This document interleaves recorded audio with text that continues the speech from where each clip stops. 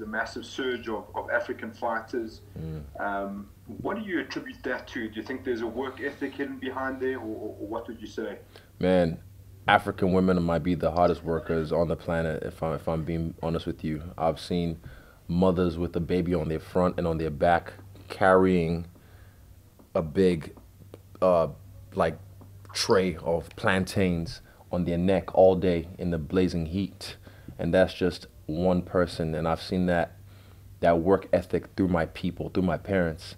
So yeah, it is passed down through us. When it like I was not the best. I'm the runt of my people, if I'm being honest. So I wasn't always the hardest worker, but it's in me. It's in my DNA because I'm bred from that, from my parents, like I said. So yeah, when I know when it's time to work, I work. But there's, I, like I said, I'm the runt of my people, even physically. Like I'm not a specimen, the pick of the litter. So I've been back home last year and I saw people just rolling in the in, in the ghetto, and they probably don't have the best nutrition, but they're bodied up, 15 years old, bodied up, you know. So uh, I like the fact that um, Nigeria, especially, is getting privy to MMA because I'm telling you, man, it's game over. Like 50 Cent did when he dropped in the club for the rap game. It's game over when Nigerians start taking over again.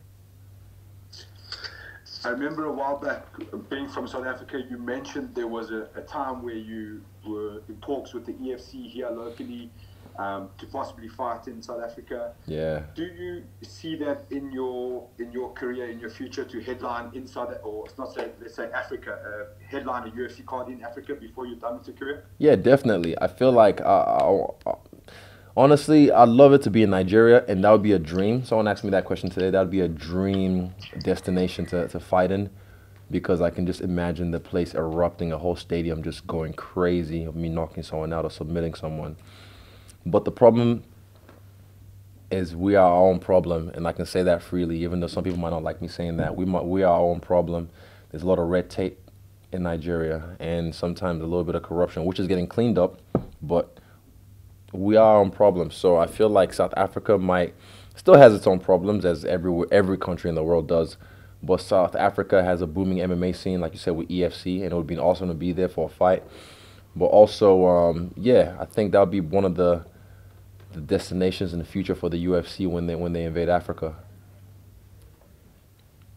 And the last one for me is what advice would you have for, for young African fighters trying to make their way to the UFC? To the UFC, young African fighters, find the right trainer. That's one thing I'd say. Like find the right trainer. It's not about getting hit and hitting the other guy back. It's not about how hard you can hit or how tough you are. Those are all great attributes but finding the right trainer because I had that in my own career when I was living in Wanganui.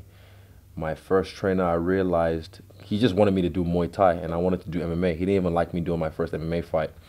And I realized that he tried to shape me to fight like him, you know, his style. And I knew early on that this was not the guy to take me to where I need to go. So I went out and I seek the right trainer, and I, I'm blessed that I found Eugene Bareman. So I tell them It'll be hard right now because it's a it's a it's a young sport, in in Africa in general.